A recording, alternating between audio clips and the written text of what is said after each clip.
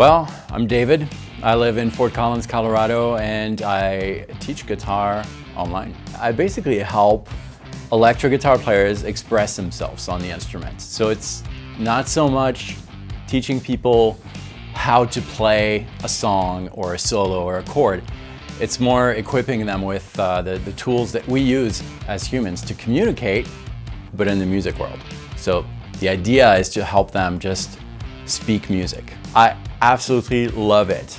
I love it because, well, first of all, I think uh, I think I'm just doing what I was meant to do, teach. I think it, it comes back to a time where I was teaching guitar in a school, which I loved, but when you're teaching one-on-one, -on -one, and if you have like 10 students in a row, the 10th student would get a horrible lesson and he'd pay the same price as the first one. I didn't think it was really fair because there's the burnout, right? You start fresh in the day as a teacher and then, you know, after eight hours of teaching, you're like, you can't do it anymore. So that was not fair for the students. I don't think it was fair for myself. Like I was really burned out and almost to the point where my passion of teaching was suffering from it. And eventually I realized that making an online experience, an online course would maybe be the way to go. That's how it started, to create the best guitar um, learning experience for students and at the same time, be kind to myself. I started it not really knowing, because you never know before starting something. It just brought me a lot of peace. I used to work in a bunch of different work gigs, like coffee shops, data center. I never had peace about that. Here,